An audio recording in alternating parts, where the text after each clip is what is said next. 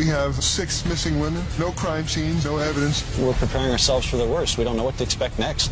I thought maybe she was being held somewhere, that uh, she was alive. And that was scarier to me than if she was dead. This guy is the epitome of pure evil. It wasn't hard to imagine what he did to these women and the grief that he caused.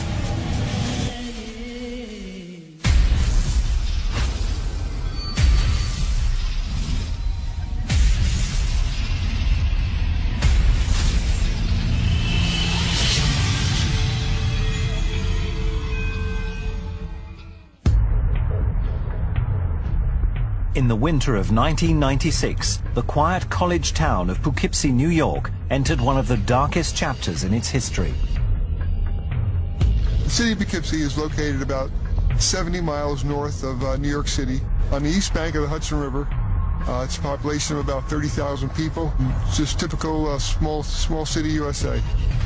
But this sleepy town concealed a dark underbelly. On Monday, the 9th of December, Patricia Barone filed a missing persons report on her 28-year-old daughter, Gina, a known prostitute and drug user. Well, sometime in early December, Gina was with her boyfriend Richie, and uh, it was around 2 or 3 in the morning, and they had a fight. She told him to get lost, and he did. He left. And uh, when he came back, she wasn't there. So uh, about a week later, he came to my front door, and I had never met him before. And he knocked, and he he said to me, "I can't find Gina." And I said, "What do you mean you can't find Gina? Gina's always around, always. I mean, she doesn't go anywhere." And he said, "I haven't seen her in days." So I said to my sister, "We have to go and report her missing because Gina's never, never gone away. She's always in somebody's sight." For Gina and her mother, life in Poughkeepsie had been a long, hard struggle. When I got pregnant back in 1967, Gina's father did not want anything to do with her, so he just went away. She was lovely, and uh, she gave us no trouble. In 1978, Gina and I moved to Poughkeepsie. I felt that it would be a nicer place to raise her. We got a small apartment, and she went to school, and I went to work. Gina was about 10 years old at the time. She was a very shy little girl, but uh, she was a very good little girl.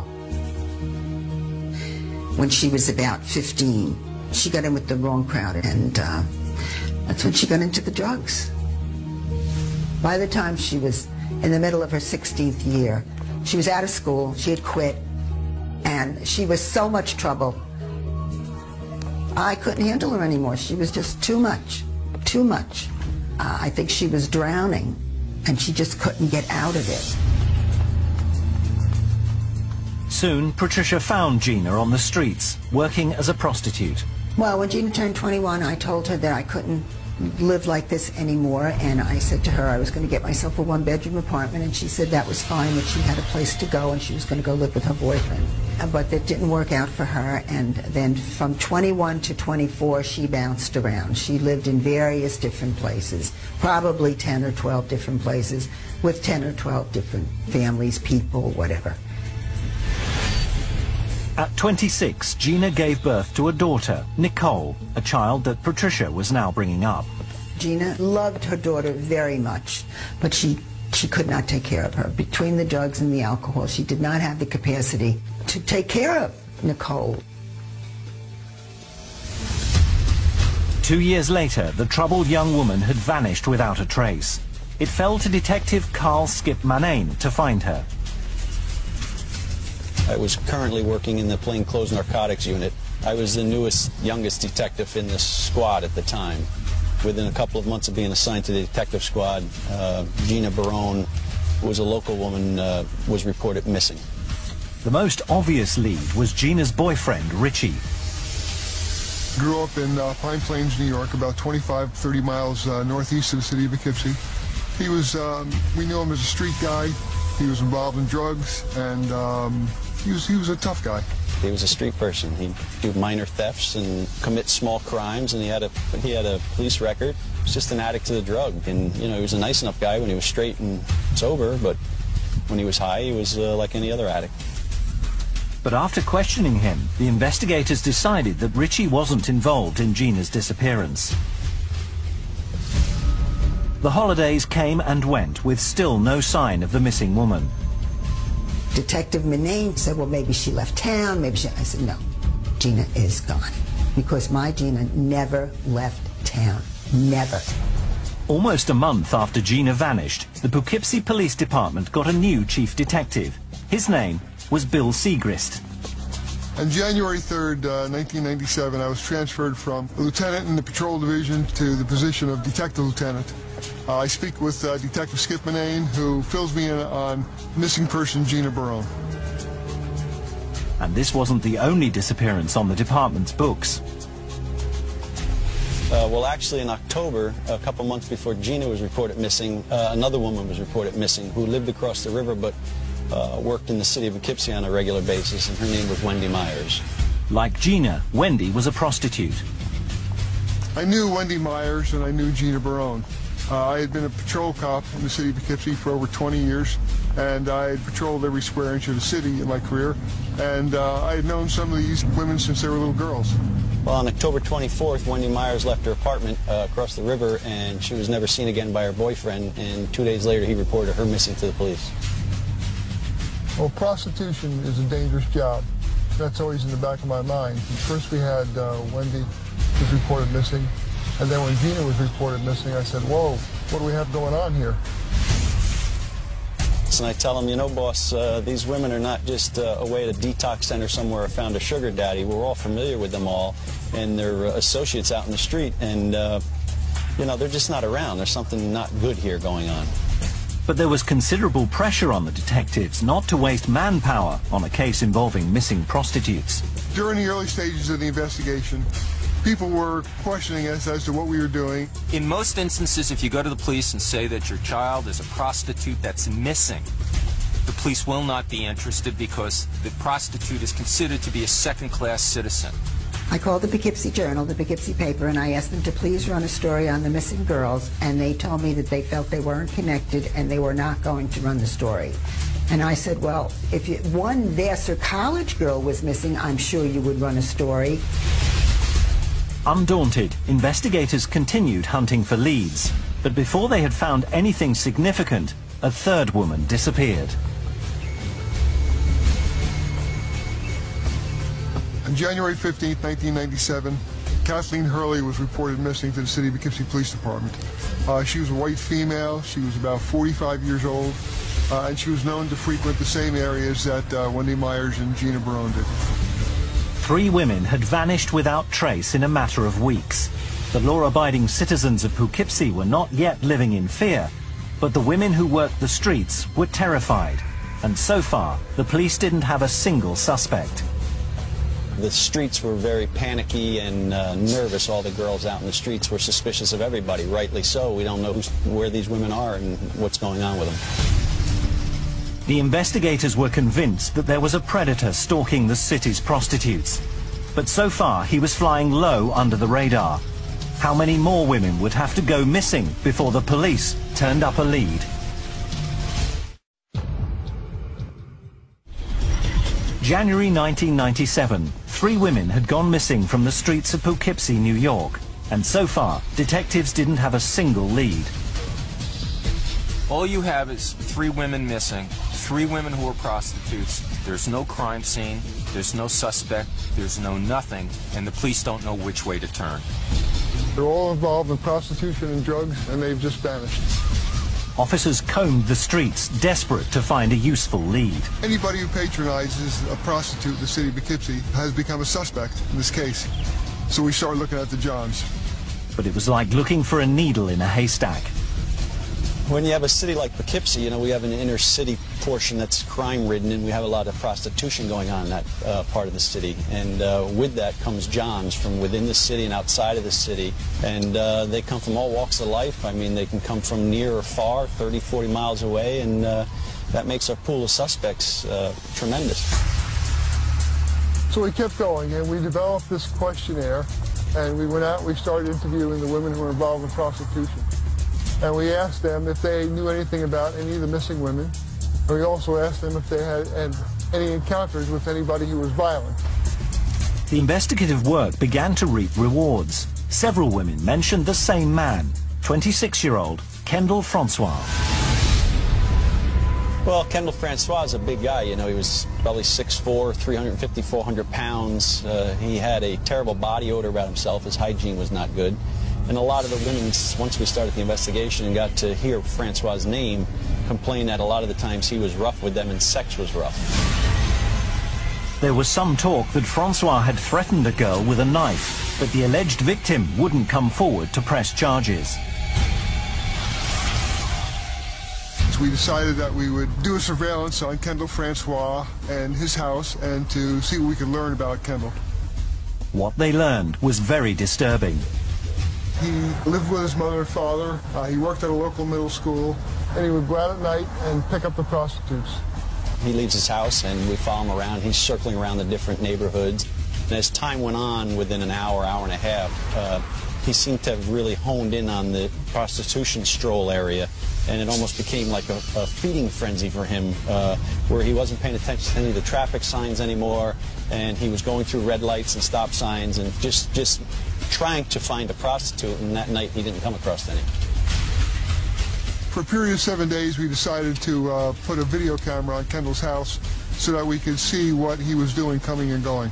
With the surveillance of Kendall and uh, following up on him, we had no real probable cause or any reason to get a search warrant. Three months after Gina Barone disappeared, the investigation was at a dead end and getting more complicated by the day. And then on March 7th, 1997, uh, Catherine Marsh is reported missing to the city of Poughkeepsie Police by her mother. Catherine Marsh fits the description of the other women who are missing. Small-boned, dark hair, blue eyes, prostitute working the streets of Poughkeepsie. It turns out that Catherine Marsh was last seen on November 12, 1996, four months earlier, so that leaves us with a very cold trail to follow up on. Now we have four women missing in four months from October to January, and we realize, you know, this is going to be a real problem. We're at the point in the investigation with no real solid leads that uh, we're preparing ourselves for the worst. We don't know what to expect next. At this low point, they had to suspect that they were looking not for missing women, but for bodies or fresh graves. I, I wanted to get the state police helicopter to come to Poughkeepsie to fly over the areas where the uh, prostitutes were known to have taken their johns and I wanted them to do it soon before the vegetation started to grow on the trees so that they could see down to ground level. We checked the uh, shoreline of the Hudson River, we checked the railroad tracks, checked the wooded areas around the city and all the areas that the prostitutes were known to take their jobs, and we kept coming up with nothing, zero. Months went by without any progress being made. Then, in the autumn, two more prostitutes were reported missing. At this point, we have uh, six missing women we have uh, no crime scenes and we have no evidence of any criminality whatsoever. But now the media decided to offer support. In December 1997, the Poughkeepsie Journal finally published the story. Its headline posed a worrying question. Is there a killer on the loose? When the Poughkeepsie Journal finally printed the story, it was approximately a year after Gina was missing, but it was always, always in my mind, where was, where was Gina? Where was she? I mean, and the scary part was I thought maybe she was being held somewhere, that um, she was alive. And that was scarier to me than if she was dead. Now the story breaks in the Poughkeepsie Journal, but it really doesn't help the police because nobody comes forward with any information. So at that point, the police still have nothing. There's no crime scene, there's no nothing except a bunch of missing women who were prostitutes. You know, we just can't sit there and wait for people to, to you know, to give us information. If there's no information available, then we have to uh, go out and, you know, talk to people and uh, just keep digging a little deeper. Lieutenant Siegrist called for a bold and unorthodox plan to turn up the heat on their only suspect, Kendall Francois. The 18th of January 1998, Kendall Francois and his mother left their house shortly before 7 a.m. Investigators followed them in unmarked cars. We waited uh, till Kendall dropped his mother off at work, and then we followed him, and uh, eventually we pulled him over, and we asked him if he would come down to the police station to talk to us. And he looked at me and he says, okay, Lieutenant, I'll follow you down. The interview room is uh, all set up. We have a, a, map on the wall. We have uh, Kendall Francois' house circled, and we have a picture of Kendall's house on the map so that when we bring Kendall in, uh, he knows that he's a suspect, and we give him something to think about. We had pictures around the room of the missing prostitutes, of him, and just try and get him in the position where he thinks, uh, if he is the guy that's responsible for it, that we know it and we got him now, although we didn't know. If Francois was nervous, he didn't show it. Instead, he maintained a calm demeanor and answered all the investigators' questions in a respectful manner. He even agreed to take a lie detector test. During the course of questions, I keep hitting him with this, this uh, alleged crime of him raping a girl at the house with a knife that she had accused him of. And I keep asking him about it, and he keeps denying it, denying it. He said he never did that at his house. He never pulled a knife on any of the prostitutes. And uh, just keep the pressure on him with the questioning over time and time. And then finally he said, look, it wasn't a knife, it was a nail file. And I said, well, good, then just bring me to your house and show me the nail file, and we can put this to, to bed. And uh, he agreed to. Lacking sufficient evidence to obtain a search warrant, the police jumped at the chance to look inside their suspect's home. But Francois would allow only one detective to accompany him.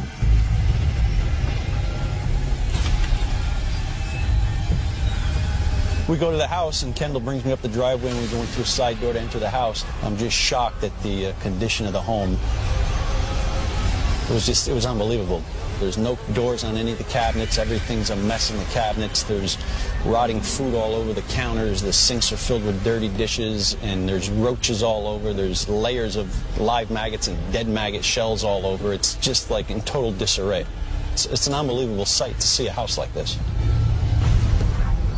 But there was nothing that appeared criminal there.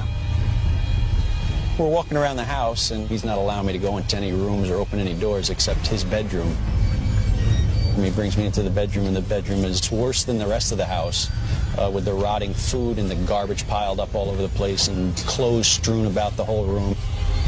Of course, as he's looking for the uh, nail file, I'm looking around to see if I can find anything to lead us to believe he's connected to the missing women. Francois couldn't find the nail file.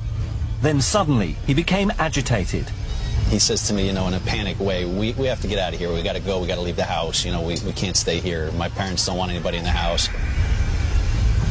So we leave his room and we're going to walk downstairs and go back to the car. And I jump out in front of him in the house and walk in front of him because I figure this is a good time for me to try and get down into that basement and, you know, see if I can find any evidence down there.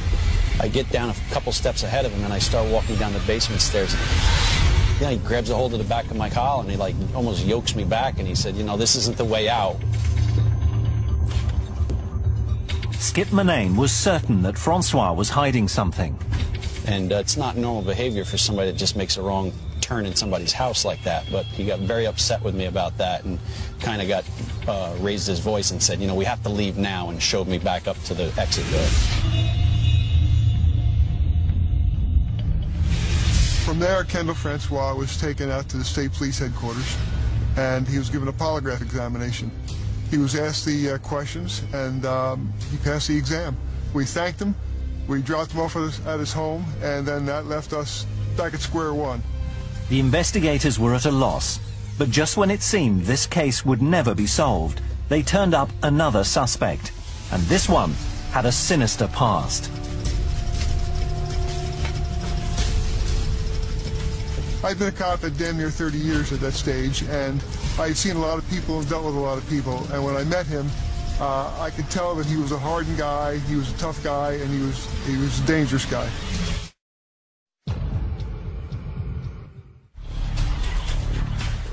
January 1998. Six prostitutes in Poughkeepsie, New York had disappeared and investigators still didn't have a suspect. But they hadn't given up. Then another canvas of the streets turned up a suspicious punter named Roy Chandler. At first, he's just a regular guy, and he's just another suspect in the pool of suspects of Johns that we have that are patronizing the prostitutes. You know, we, we look a little deeper into him, and we run a background check and a criminal history on him, and we find out that this guy's got an extensive criminal history.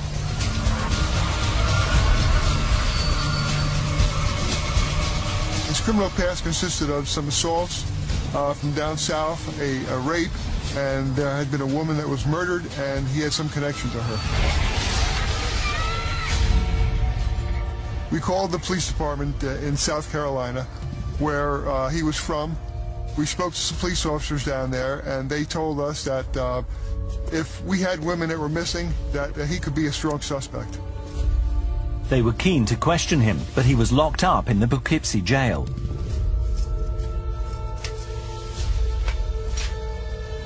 Well, we learned that this guy was arrested on uh, the charge of patronizing a prostitute, and that in fact he was sent to the county jail where he was going to do a short amount of time for that crime. And we learned on the night that he was getting released from the county jail at midnight. So me and a couple of the guys in the squad went over there to meet him. And sure enough, at midnight, he walked out, and there we were. And, uh, you know, we told him we wanted to speak with him you could tell immediately that this guy was a, uh, you know, a professional convict. I mean, he was a big guy. He uh, did not like the police. That was obvious. And, uh, you know, it just kind of made the hair on your neck stand up a little bit. Yeah, he was a long-term convict. He was certainly wasn't afraid of uh, a few policemen interviewing him. And uh, he was obviously going to be a hard nut to crack. Chandler vehemently denied any involvement with the missing women, but the police weren't prepared to let him off the hook we drive him over to his brother's house, and uh, we meet his brother, and we're talking to the two of them, and uh, we learn that he is not really staying at his brother's house, which is this little kind of strange shanty house in the neighborhood, but uh, he's been living in the woods uh, in the surrounding areas of Poughkeepsie, which, uh, you know, he's like this gypsy, this guy that travels through the woods and lives off the earth. We found nothing at his brother's house, but we knew that we had to uh, look in the wooded area where he had been camping. Poughkeepsie is in the middle of a lot of farmland, not to mention it's bordered by one of the largest rivers in the world, so there's a heck of a lot of area where you can dispose of bodies, and nobody would be the wiser. So we have him take us to a couple of the locations where he's been camping in the past, and uh, you know, it's out in the wooded area. It's a pretty large piece of different properties, and uh, we're obviously out there looking for, well, it'd be great if we could find a woman out there, but uh, you know we were looking for evidence of some kind of crime scene or that. In fact he had women out there, and possibly he's the guy that's got these missing women out there, you know, enslaved in his camp in the woods somewhere. A rigorous search of the woods around Poughkeepsie found not a single shred of evidence.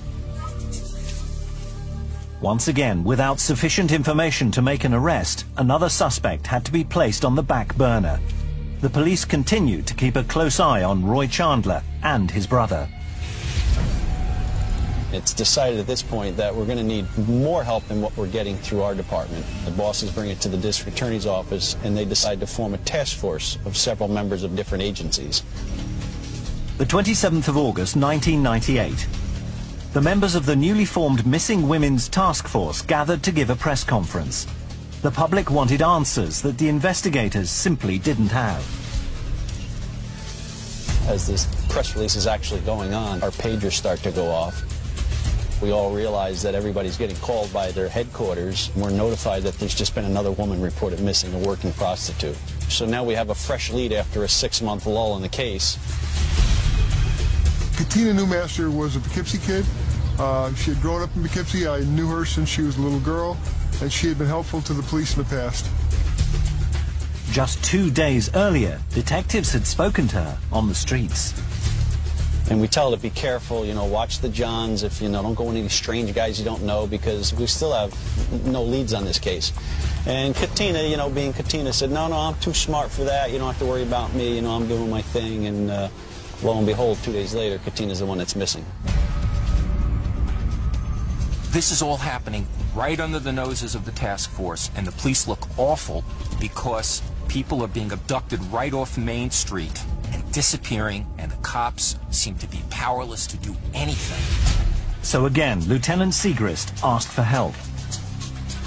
I called the special agent back that I had been in contact with, and I told him that we now had eight w- women missing. And I said the last two were missing from the same area in broad daylight. Hey, how are you doing? The special agent suggested that we set up a roadblock canvas in the area where the women had last been seen. The roadblock was conducted during the day to literally shake out something from the community. It was a pretty logical thing to do.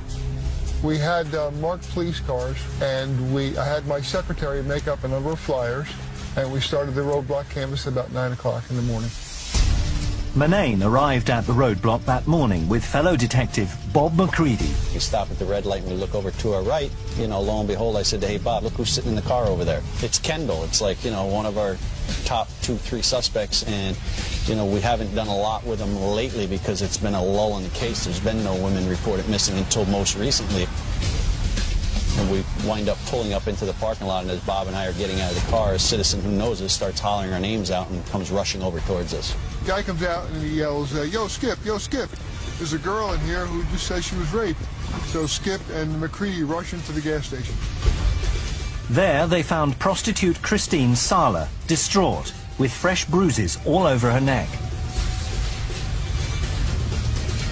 We're confronted with a young girl standing there uh, who's obviously very upset. She's crying. She's been crying. She's worked up, and uh, you know you could you could almost see the the fingerprints around her throat where she had been choked. At first, she didn't want to talk to the police because she was afraid she'd get in trouble. She thought that there was a warrant for her. But eventually, Skip and McCready uh, talked her into uh, talking to them and telling them what happened.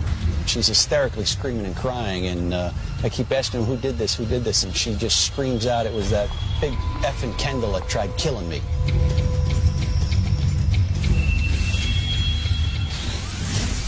According to Christine, Kendall Francois had picked her up that morning and taken her back to his house.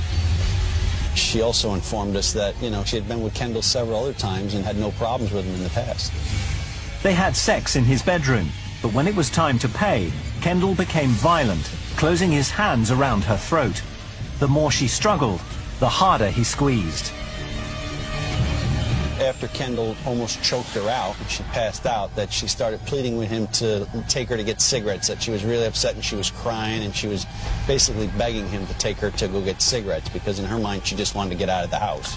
And, uh, you know, to her credit and unbelievably, she convinced him to drive her over to the gas station to get cigarettes. In the car, Christine did her best to conceal her fear from her attacker. As soon as they got to the petrol station, she made her escape.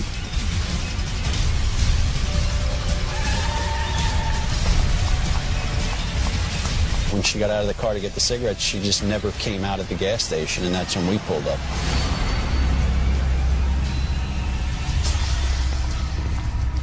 So we take her back to the station, and by now we're radio transmissions and telephone conversation with other task force members. They realize that we have a good victim here. I mean, this might be a, a break in the case that we've been waiting for. Later that afternoon, an arrest warrant for Kendall Francois was issued. It was decided that Kendall would be invited up to the police station for uh, members of the task force to, to interview him. You know, we meet him and bring him into an interview room and we start interviewing him about what happened that day. Once again, Francois was happy to talk without a lawyer present. He admitted to the assault on Christine, explaining that he got angry, but then calmed down. He said he was trying to give her a lift back to the town centre when she ran away. But when the investigators told Francois they were getting a search warrant for his house, he seemed shocked and did a U-turn.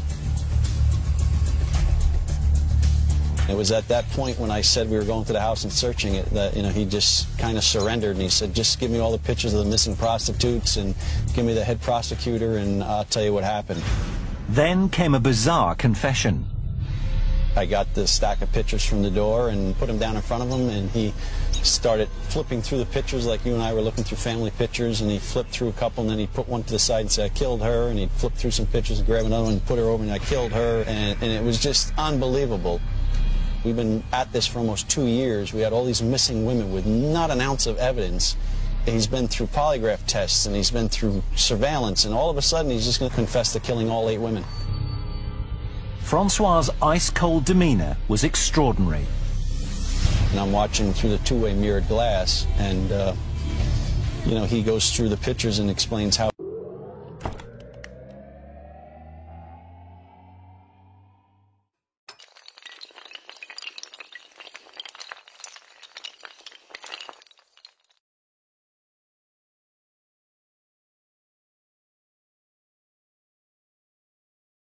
he killed them and uh, you know what had taken place. He's just matter of fact of these are the ones I killed and these are the ones I did not.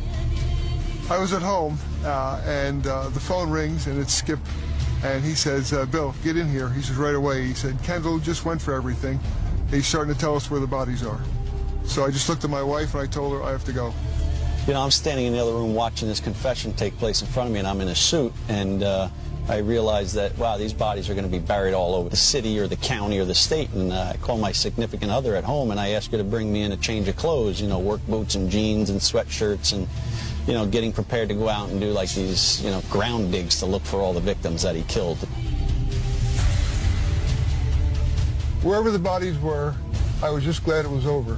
After 22 months, uh, it takes a toll on you. But the nightmare was far from over. What Kendall Francois revealed next would take the detectives to one of the darkest, most horrifying crime scenes of their careers. She was brought into a place of such horror. Just the idea of that house still standing gives me the shakes.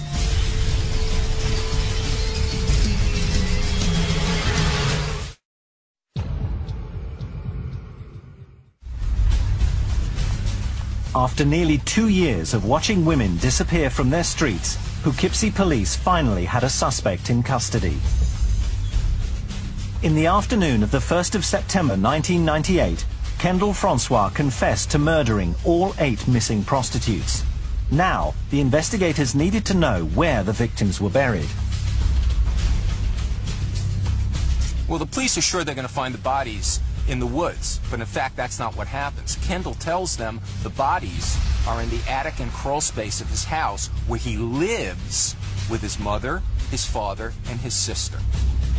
In all this time that we considered Kendall a suspect, we never thought for a minute that he would have uh, all of these bodies stored in his house while his mother, his father, and his sister lived there with him.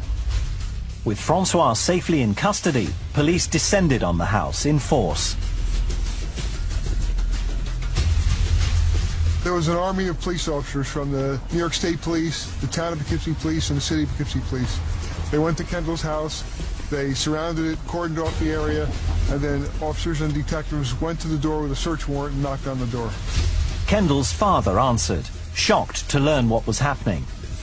After he, his wife, and his daughter were taken to the station for questioning, a team of crime scene investigators moved in to search the filthy house. The house was a complete mess.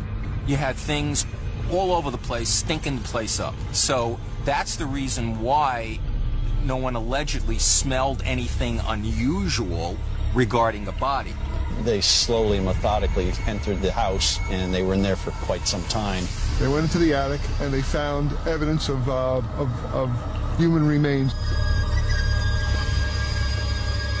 When they got to the top, they looked in and they saw bodies, very, very clearly, decomposing bodies. These were some of Kendall Francois' victims. They took some photographs and then they left. They didn't want to start a crime scene that late at night. The house was secured. But some things couldn't wait until the morning. It was the middle of the night and the doorbell rang and I went to the front door and I saw Skip. And I knew right then that he had something very important to tell me.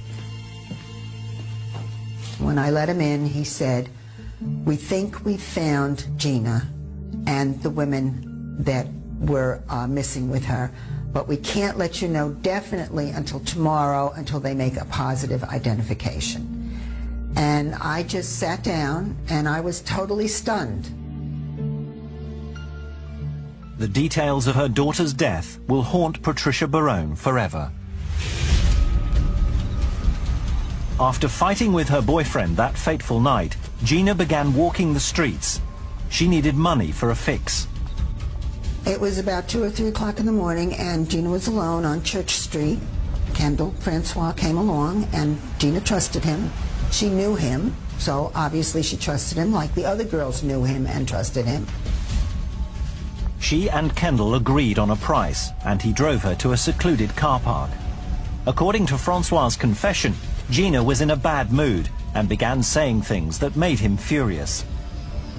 He grabbed her by the throat until finally Gina lay silent and still.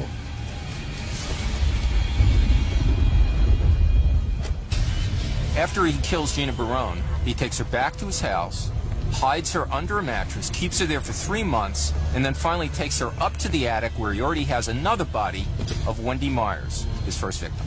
When the police told me that she was killed and then her body was taken to the house, I was relieved because I was it was like her spirit never entered that terrible place that he brought all those women. By the following morning, the police are already back at the house by about 8 o'clock in the morning, ready to go back and process the crime scene. And that crime scene investigation lasted for 29 days. Media people and hundreds of locals descended on the residential street. A day or two later, I went over to the house. My sister and I went over. I was just curious. I wanted to see it. it I didn't have any real feeling, but um, maybe I just wanted to know where my Gina spent that time. Forensic investigators pored over every square inch of the property. You have one team working the outside perimeter of the house, breaking very gently to discover any bone fragments, any other evidence that might connect Francois to the killings.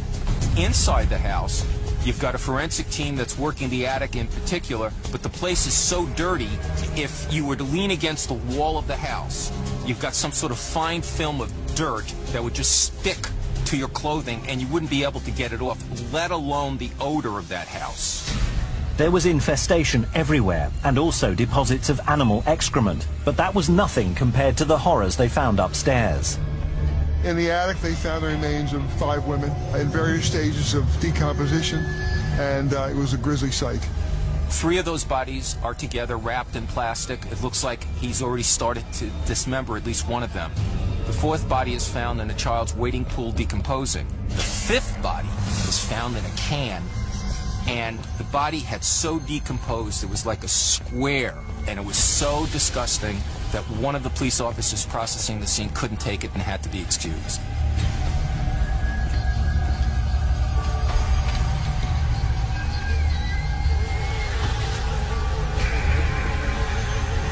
The three freshest bodies, the most current ones, are found in the crawl space underneath the house. It took three days to remove the bodies and transport them to the mortuary. While the investigation of the property continued, medical examiners worked around the clock to identify the decomposed remains. Gina was declared dead September 3rd, 1998. They used her dental records to identify her.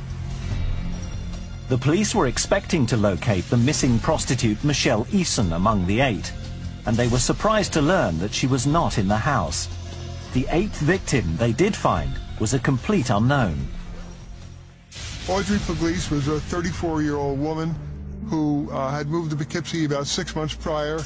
She was involved in prostitution, and her she had ever been reported missing. It was very sad when they told us all the girls' names, and one of them, Audrey Pugliese, was never even declared missing by anyone. It was just such a sad thing to think that somebody could disappear and not even be missed by anyone. Michelle Eason is still considered a missing person. Once the crime scene analysis was complete, after almost a full month of work on it, the abandoned house was covered in hateful graffiti. Kendall Francois' family, who knew nothing about the corpses in their home, went to live far away. The 13th of October 1998, Kendall Francois was brought out in handcuffs into a packed court. As victims' families and friends looked on sorrowfully, he was formally charged with eight counts of first-degree murder, eight counts of second-degree murder, and one count of assault for his attack on Christine Sala. I've been in many courtrooms. I've seen many killers. But the one that really scared the crap out of me was Kendall Francois. This guy is the epitome of pure evil. It wasn't hard to imagine what he did to these women and the grief that he caused. Though the prosecution wanted the death penalty, the prosecutor accepted a guilty plea in exchange for life in prison without parole. The state made a decision not to try Francois, but to make a deal. And the deal was just basically this. He pleads guilty to all of these crimes. He gets life in prison, which is all he could get under New York state law. It's, it spares the families the grief of a trial, and it spares the state the cost of a trial. Kendall had uh, indicated early on that he would just plead to the crimes, and it would save a lot of hardship putting the families, remaining family, relatives of all the missing women and going through a long, extended trial when he was willing to cop to the uh, eight life sentences plus 25 years for the sexual assault. I wanted him to go away. I never wanted to see him again. And the district attorney said that if we had a trial and if he was guilty, there would be appeals. And this could go on for many years. So this way, I think it's good. He's away for good. Gone. As the community of Poughkeepsie began the healing process, Kendall Francois was incarcerated in Attica, New York's toughest maximum security prison. Thanks to the dedicated work of the local authorities, he will remain there, prisoner number A4160, for the rest of his natural life.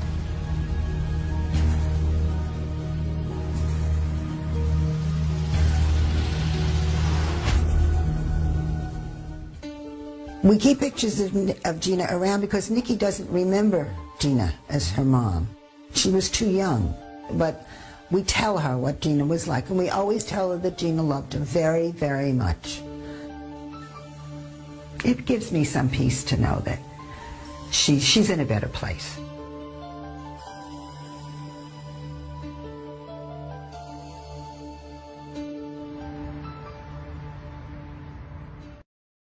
Had vanished without a trace. It fell to Detective Carl Skip Manane to find her. I was currently working in the plainclothes narcotics unit. I was the newest, youngest detective in this squad at the time. Within a couple of months of being assigned to the detective squad, uh, Gina Barone, who was a local woman, uh, was reported missing. The most obvious lead was Gina's boyfriend, Richie. Grew up in uh, Pine Plains, New York, about 25, 30 miles uh, northeast of the city of Poughkeepsie. He was, um, we knew him as a street guy. He was involved in drugs, and um, he was he was a tough guy. He was a street person. He'd do minor thefts and commit small crimes, and he had a he had a police record. He was just an addict to the drug, and you know he was a nice enough guy when he was straight and sober, but when he was high, he was uh, like any other addict. But after questioning him, the investigators decided that Richie wasn't involved in Gina's disappearance. The holidays came and went with still no sign of the missing woman. Detective Manane said, well, maybe she left town, maybe she... I said, no, Gina is gone. Because my Gina never left town. Never. Almost a month after Gina vanished, the Poughkeepsie Police Department got a new chief detective. His name was Bill Siegrist. On January 3rd, uh, 1997, I was transferred from a lieutenant in the patrol division to the position of detective lieutenant. Uh, I speak with uh, Detective Skip Manane, who fills me in on missing person Gina Barone. And this wasn't the only disappearance on the department's books. Uh, well, actually, in October, a couple months before Gina was reported missing, uh, another woman was reported missing who lived across the river but uh, worked in the city of Poughkeepsie on a regular basis, and her name was Wendy Myers. Like Gina, Wendy was a prostitute. I knew Wendy Myers and I knew Gina Barone. Uh, I had been a patrol cop in the city of Poughkeepsie for over 20 years, and I had patrolled every square inch of the city in my career, and uh, I had known some of these women since they were little girls. Well, on October 24th, Wendy Myers left her apartment uh, across the river, and she was never seen again by her boyfriend, and two days later he reported her missing to the police. Well, prostitution is a dangerous job. that's always in the back of my mind. First we had uh, Wendy was reported missing, and then when Gina was reported missing, I said, whoa, what do we have going on here? And I tell them, you know, boss, uh, these women are not just uh, away at a detox center somewhere or found a sugar daddy. We're all familiar with them all, and they're uh, associates out in the street, and, uh, you know, they're just not around. There's something not good here going on. But there was considerable pressure on the detectives not to waste manpower on a case involving missing prostitutes. During the early stages of the investigation, people were questioning us as to what we were doing. In most instances, if you go to the police and say that your child is a prostitute that's missing, the police will not be interested because the prostitute is considered to be a second-class citizen. I called the Poughkeepsie Journal, the Poughkeepsie paper, and I asked them to please run a story on the missing girls, and they told me that they felt they weren't connected and they were not going to run the story. And I said, well, if you, one Vassar College girl was missing, I'm sure you would run a story. Undaunted, investigators continued hunting for leads, but before they had found anything significant, a third woman disappeared. On January 15, 1997, Kathleen Hurley was reported missing to the City of Poughkeepsie Police Department. Uh, she was a white female. She was about 45 years old, uh, and she was known to frequent the same areas that uh, Wendy Myers and Gina Barone did. Three women had vanished without trace in a matter of weeks. The law-abiding citizens of Poughkeepsie were not yet living in fear, but the women who worked the streets were terrified. And so far, the police didn't have a single suspect. The streets were very panicky and uh, nervous. All the girls out in the streets were suspicious of everybody, rightly so. We don't know where these women are. It's where the uh, prostitutes were known to have taken their johns. And I wanted them to do it soon before the vegetation started to grow on the trees so that they could see down to ground level. We checked the uh, shoreline of the Hudson River, we checked the railroad tracks, checked the wooded areas around the city and all the areas that the prostitutes were known to take their jobs, And we kept coming up with nothing, zero. Months went by without any progress being made. Then, in the autumn, two more prostitutes were reported missing. At this point, we have uh, six missing women. We have uh, no crime scenes and we have no evidence of any criminality whatsoever. But now the media decided to offer support. In December 1997, the Poughkeepsie Journal finally published the story. Its headline posed a worrying question. Is there a killer on the loose? When the Poughkeepsie Journal finally printed the story, it was approximately a year after Gina was missing, but it was always, always in my mind, where was, where was Gina? Where was she? I mean, and the scary part was I thought maybe she was being held somewhere, that um, she was alive. And that was scarier to me than if she was dead. Now the story breaks in the Poughkeepsie Journal, but it really doesn't help the police because nobody comes forward with any information. So at that point, the police still have nothing. There's no crime scene, there's no nothing except a bunch of missing women who were prostitutes. You know, we just can't sit there and wait for people to, to you know, to give us information. If there's no information available, then we have to uh, go out and, you know, talk to people and uh, just keep digging a little deeper. Lieutenant Siegrist called for a bold and unorthodox plan to turn up the heat on their only suspect, Kendall Francois. The 18th of January 1998, Kendall Francois and his mother left their house shortly before 7 a.m. Investigators followed them in unmarked cars. We waited uh, till Kendall dropped his mother off at work, and then we followed him, and uh, eventually we pulled him over, and we asked him if he would come down to the police station to talk to us. And he looked at me and he says, okay, Lieutenant, I'll follow you down. The interview room is uh, all set up. We have a, a, map on the wall. We have uh, Kendall Francois' house circled, and we have a picture of Kendall's house on the map so that when we bring Kendall in, uh, he knows that he's a suspect, and we give him something to think about. We had pictures around the room of the missing prostitutes, of him, and just try and get him in the position where he thinks, uh, if he is the guy that's responsible for it, that we know it and we got him now, although we didn't know. If Francois was nervous, he didn't show it. Instead, he maintained a calm demeanor and answered all the investigators' questions in a respectful manner. He even agreed to take a lie detector test. During the course of questions, I keep hitting him with this this uh, alleged crime of him raping a girl at the house with a knife that she had accused him of. And I keep asking him about it, and he keeps denying it, denying it. He said he never did that at his house. He never pulled a knife on any of the prostitutes.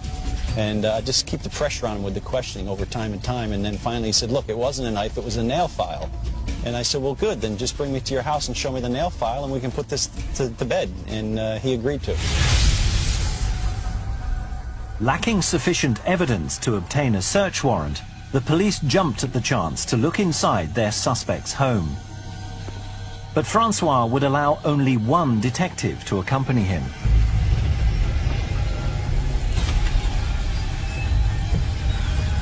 We go to the house, and Kendall brings me up the driveway, and we go into a side door to enter the house. I'm just shocked at the uh, condition of the home.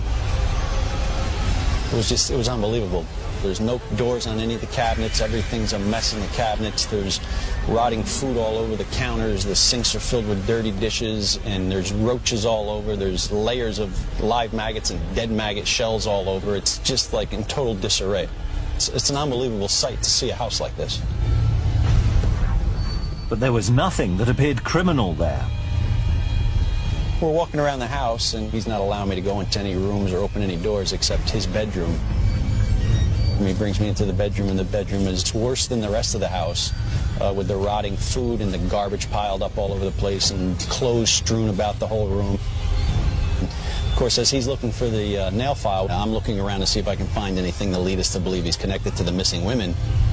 Francois couldn't find the nail file. Then suddenly, he became agitated. He says to me, you know, in a panic way, we, we have to get out of here. We got to go. We got to leave the house. You know, we, we can't stay here. My parents don't want anybody in the house. So we leave his room and we're going to walk downstairs and go back to the car. And I jump out in front of him in the house and walk in front of him because I figure this is a good time for me to try and get down into that basement and, you know, see if I can find any evidence down there. I get down a couple steps ahead of him and I start walking down the basement stairs. Yeah, he grabs a hold of the back of my collar and he like almost yokes me back and he said, you know, this isn't the way out. Skip Manane was certain that Francois was hiding something. And uh, it's not normal behavior for somebody that just makes a wrong turn in somebody's house like that. But he got very upset with me about that and kind of got uh, raised his voice and said, you know, we have to leave now and showed me back up to the exit door. From there, Kendall Francois was taken out to the state police headquarters, and he was given a polygraph examination. He was asked the uh, questions, and um, he passed the exam. We thanked him. We dropped him off at his, at his home, and then that left us back at square one. The investigators were at a loss, but just when it seemed this case would never be solved, they turned up another suspect, and this one had a sinister past. I'd been a cop at damn near 30 years at that stage, and I had seen a lot of people and dealt with a lot of people. And when I met him, uh, I could tell that he was a hardened guy, he was a tough guy, and he was he was a dangerous guy.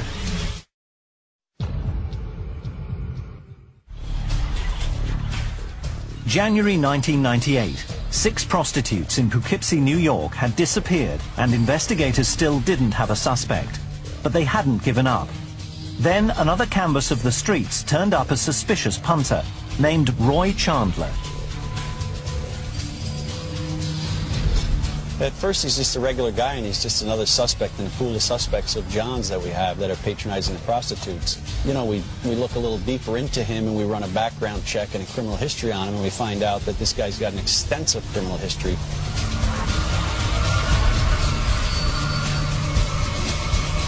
His criminal past consisted of some assaults uh, from down south, a, a rape, and there had been a woman that was murdered, and he had some connection to her. We called the police department uh, in South Carolina, where uh, he was from. We spoke to some police officers down there, and they told us that uh, if we had women that were missing, that, he could be a strong suspect. They were keen to question him, but he was locked up in the Poughkeepsie jail.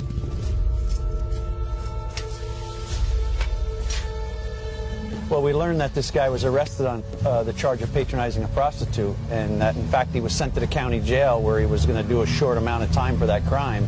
And we learned on the night that he was getting released from the county jail at midnight So me and a couple of the guys in the squad went over there to meet him. And sure enough, at midnight, he walked out, and there we were. And uh, you know, we told him we wanted to speak with him.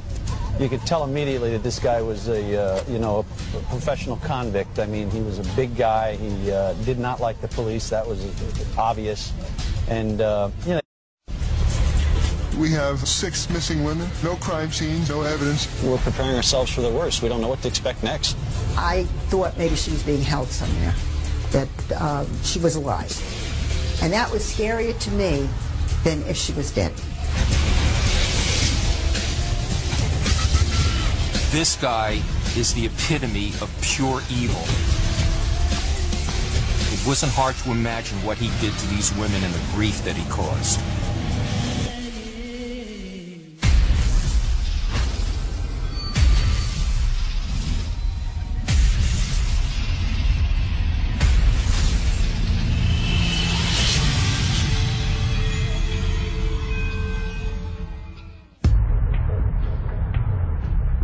In the winter of 1996, the quiet college town of Poughkeepsie, New York, entered one of the darkest chapters in its history.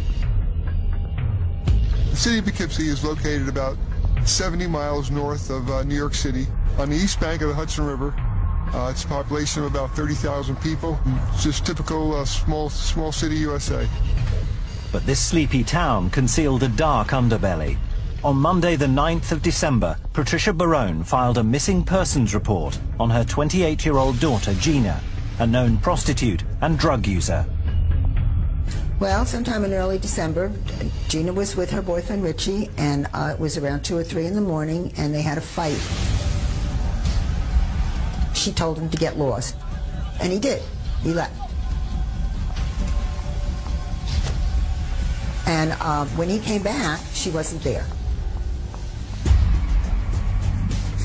So uh, about a week later, he came to my front door, and I had never met him before. And he knocked, and he he said to me, "I can't find Gina." And I said, "What do you mean you can't find Gina? Gina's always around, always. I mean, she doesn't go anywhere." And he said, "I haven't seen her in days." So I said to my sister, "We have to go and report her missing because Gina's never, never gone away. She's always in somebody's sight." For Gina and her mother, life in Poughkeepsie had been a long, hard struggle. When I got pregnant back in 1967, Gina's father did not want anything to do with her, so he just went away. She was lovely, and uh, she gave us no trouble. In 1978, Gina and I moved to Poughkeepsie. I felt that it would be a nicer place to raise her. We got a small apartment, and she went to school, and I went to work. Gina was about 10 years old at the time. She was a very shy little girl, but uh, she was a very good little girl. When she was about 15, she got in with the wrong crowd, and uh, that's when she got into the drugs.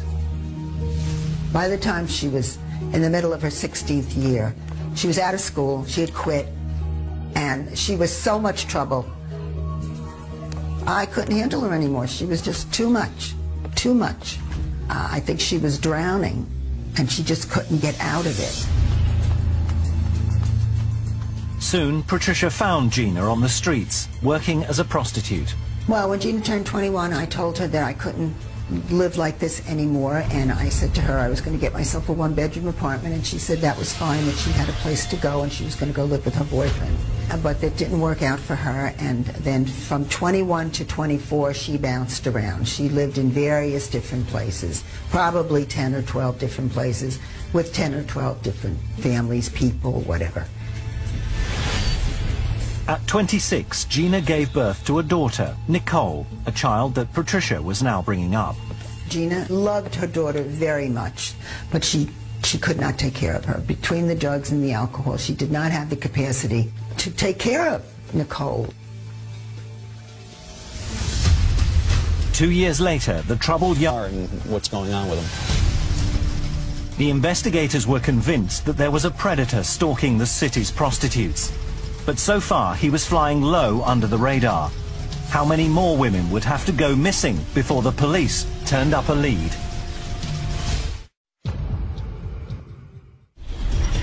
January 1997, three women had gone missing from the streets of Poughkeepsie, New York. And so far, detectives didn't have a single lead. All you have is three women missing, three women who are prostitutes. There's no crime scene, there's no suspect, there's no nothing, and the police don't know which way to turn. They're all involved in prostitution and drugs, and they've just vanished. Officers combed the streets, desperate to find a useful lead. Anybody who patronizes a prostitute in the city of Poughkeepsie has become a suspect in this case. So we started looking at the Johns. But it was like looking for a needle in a haystack. When you have a city like Poughkeepsie, you know, we have an inner city portion that's crime-ridden, and we have a lot of prostitution going on in that uh, part of the city. And uh, with that comes Johns from within the city and outside of the city. And uh, they come from all walks of life. I mean, they can come from near or far, 30, 40 miles away, and uh, that makes our pool of suspects uh, tremendous. So we kept going, and we developed this questionnaire, and we went out, we started interviewing the women who were involved in prostitution. And we asked them if they knew anything about any of the missing women. And we also asked them if they had, had any encounters with anybody who was violent. The investigative work began to reap rewards. Several women mentioned the same man, 26-year-old Kendall Francois. Well, Kendall Francois is a big guy. You know, he was probably 6'4", 350, 400 pounds. Uh, he had a terrible body odor about himself. His hygiene was not good. And a lot of the women, once we started the investigation and got to hear Francois' name, complained that a lot of the times he was rough with them and sex was rough. There was some talk that Francois had threatened a girl with a knife, but the alleged victim wouldn't come forward to press charges. So we decided that we would do a surveillance on Kendall Francois and his house and to see what we could learn about Kendall. What they learned was very disturbing. He lived with his mother and father. Uh, he worked at a local middle school, and he would go out at night and pick up the prostitutes. He leaves his house, and we follow him around. He's circling around the different neighborhoods. And as time went on, within an hour, hour and a half, uh, he seemed to have really honed in on the prostitution stroll area, and it almost became like a, a feeding frenzy for him, uh, where he wasn't paying attention to any of the traffic signs anymore, and he was going through red lights and stop signs and just just trying to find a prostitute, and that night he didn't come across any. For a period of seven days, we decided to uh, put a video camera on Kendall's house so that we could see what he was doing coming and going. With the surveillance of Kendall and uh, following up on him, we had no real probable cause or any reason to get a search warrant. Three months after Gina Barone disappeared, the investigation was at a dead end and getting more complicated by the day. And then on March 7th, 1997, uh, Catherine Marsh is reported missing to the city of Poughkeepsie police by her mother. Catherine Marsh fits the description of the other women who are missing. Small boned, dark hair, blue eyes, prostitute working the streets of Poughkeepsie. It turns out that Catherine Marsh was last seen on November 12, 1996, four months earlier, so that leaves us with a very cold trail to follow up on. Now we have four women missing in four months from October to January, and we realize, you know, this is going to be a real problem. We're at the point in the investigation with no real solid leads that uh, we're preparing ourselves for the worst. We don't know what to expect next. At this low point, they had to suspect that they were looking not for missing women, but for bodies or fresh graves. I, I wanted to get the state police helicopter to come to Poughkeepsie to fly over the area